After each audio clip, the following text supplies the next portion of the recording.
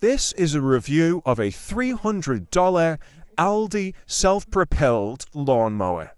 Once I unpackaged the box and checked nothing was missing, it only took approximately 5 minutes to build. Pretty easy.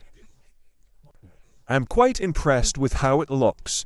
It has a 4-stroke petrol engine, the cutting width is 51 centimeters and it only weighs 29 kilograms.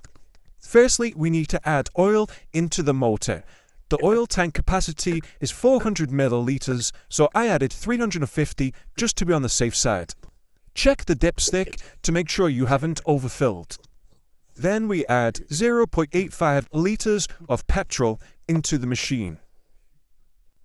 It comes with a removable catcher that has a capacity of 60 liters.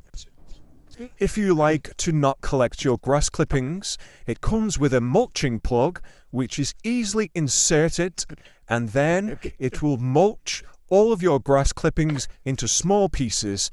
As it is only a small lawn, I prefer to collect my grass clippings into the catcher. So I just remove the mulching plug and reattach the catcher.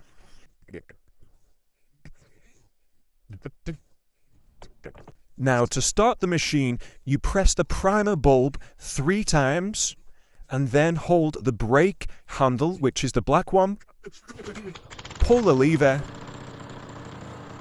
and it starts first time. Surprisingly, the motor is pretty quiet. Now to get mowing, we just hold the green handle and off we go. It has 7 different cutting height adjustments 25 all the way up to 75 millimeters, depending how short or long you like your lawn to be cut. One downside is it only has one mowing speed. I like to cut my lawns pretty quick and this machine slows me right down. But because it only weighs 29 kilograms and has 3 kilowatts of power, it doesn't take much effort to go back and forth and mow the lawn.